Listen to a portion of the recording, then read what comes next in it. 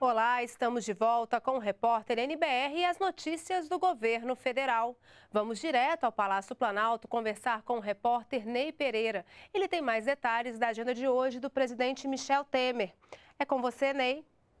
Oi, Carol, bom dia a todos. Pois a Carol, o presidente Michel Temer se reuniu agora há pouco com os ministros de Segurança Institucional Sérgio Etchegóin, da Casa Civil Eliseu Padilha e da Secretaria-Geral da Presidência Moreira Franco e também com o general Santos Cruz, que é secretário nacional de Segurança, para discutir a situação da segurança no Rio de Janeiro. Essa reunião ainda deve estar em andamento.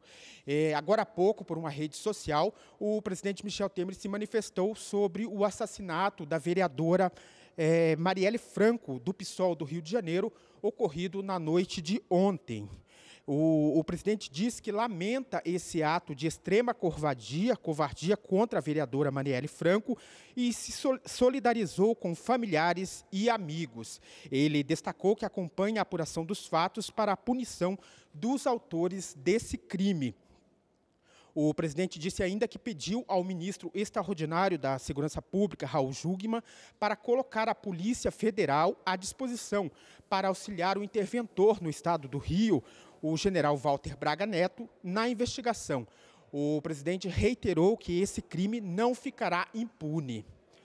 Ah, o Ministério dos Direitos Humanos também divulgou uma nota afirmando que, que, com indignação profunda, expressa tristeza e pesar pela morte da motorista, e, é, aliás, da vereadora e do motorista é, dela. Segundo essa nota, a vereadora era uma liderança significativa e símbolo do ativismo com, em direitos humanos e teve atuação decisiva na defesa dos direitos de todos os cidadãos, com lutas expressivas nas áreas de segurança pública e nas causas das mulheres, negros e LGBTI o ministro Gustavo Rocha e membros do Observatório de Intervenção é, criado aí pelo Ministério, Observa Rio, vão se reunir nesta quinta-feira com o interventor general Braga Neto para reforçar esse pedido e também rigor na investigação.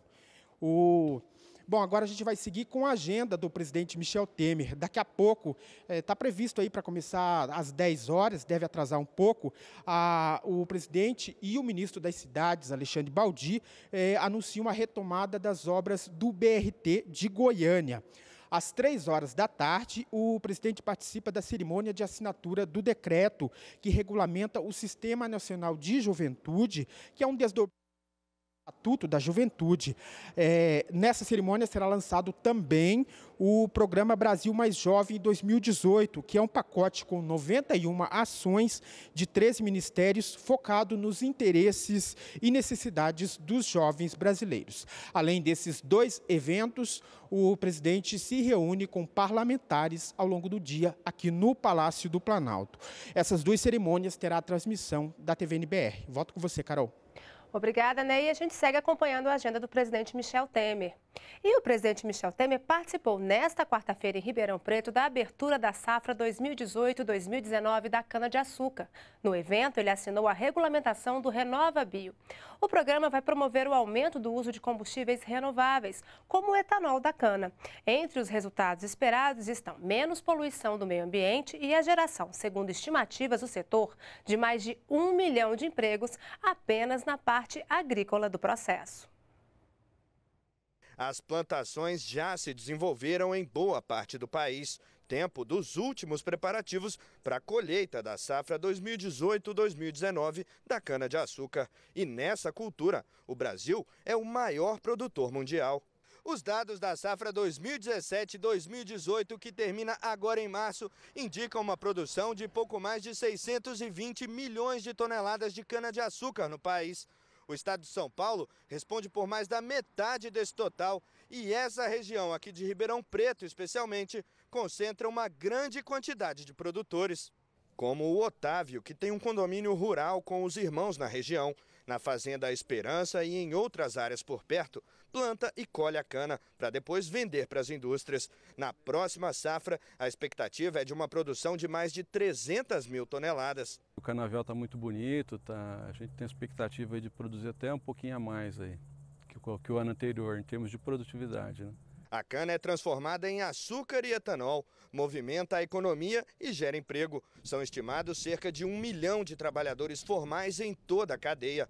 O presidente Michel Temer esteve com produtores em Ribeirão Preto para a abertura da safra 2018-2019. Na ocasião, Temer assinou o decreto que regulamenta a Política Nacional de Biocombustíveis, conhecida como Renova Bio, que promete impulsionar o setor. O Renova Bio é, diria eu, mais apenas mais um novo capítulo de uma ampla agência de modernização. Eu penso que o Renova Bio, de todos os atos, será um dos mais importantes que este governo praticou. A iniciativa, que já tinha sido sancionada em dezembro, mas precisava de regulamentação, vai promover um aumento do uso dos combustíveis renováveis, como o etanol e o biodiesel. Estabelece como serão definidas as metas de redução das emissões de gases do efeito estufa. Para isso, prevê instrumentos como os chamados créditos de descarbonização, que vão permitir transformar a produção sustentável de biocombustíveis em créditos no mercado de carbono. Nós haveremos de trabalhar muito duro para poder honrar esses nossos compromissos, porque nós somos uma das economias mais verdes do mundo e haveremos de continuar sendo pelos próximos anos. Para representantes da área de biocombustíveis, o Renova Bio está em linha com os compromissos ambientais assumidos internacionalmente pelo Brasil e é fundamental para o desenvolvimento do setor. Na verdade, é um estímulo muito grande em termos de trazer uma competitividade do etanol em relação a dois argumentos, né? Um produto constantemente renovável, produzido no Brasil e um fator extremamente desimpactante da emissão de carbono na atmosfera melhorar a competitividade da indústria brasileira no mercado global. Essa é a meta do programa Indústria 4.0, lançado durante o Fórum Econômico Mundial para a América Latina. As empresas brasileiras terão à disposição 9 bilhões de reais para linhas de financiamento. Cada vez mais, a tecnologia digital atrai investimentos. Para não perder a oportunidade, o governo aproveitou a presença de líderes empresariais no Fórum Econômico Mundial em São Paulo para lançar a Agenda Brasileira para a Indústria 4.0. A meta é financiar a inovação e modernização da indústria brasileira. Isso para as empresas incorporarem a tecnologia digital no desenvolvimento de produtos. Para isso, bancos e agências públicas vão disponibilizar linhas de financiamento no valor de 9 bilhões e 100 milhões de reais. Os financiamentos vão ter juros abaixo daqueles praticados no mercado. O BNDES vai oferecer linhas com taxa de 0,9% ao ano. Também vão ser capacitados 1.500 professores e 10 mil alunos da Rede Federal de Educação Profissional e Tecnológica para se adequar ao novo perfil do mercado de trabalho. A alíquota do imposto de importação para robôs não produzidos no Brasil vai cair de 14% para zero.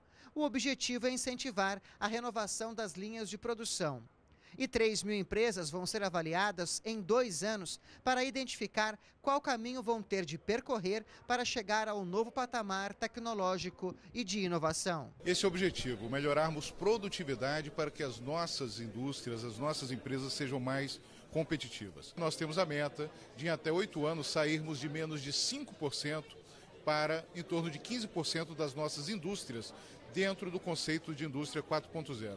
E o que é isso? É justamente estar tudo conectado de forma inteligente. O ministro da Fazenda também passou pelo fórum. Ele participou do painel sobre a perspectiva econômica global. No debate surgiram temas como a crise econômica mundial, a situação atual dos Estados Unidos, o processo de recuperação no Brasil e a melhoria do ambiente de negócios com a modernização trabalhista.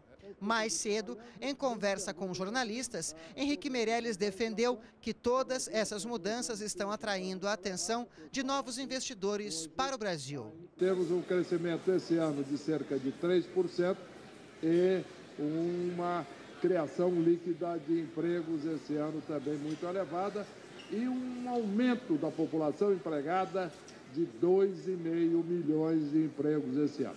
Isso gera muita oportunidade de investimento e que é o mais importante do ponto de vista de todos os investidores que estão aqui participando do fórum. E nós ficamos por aqui. Continue na NBR, a TV do Governo Federal.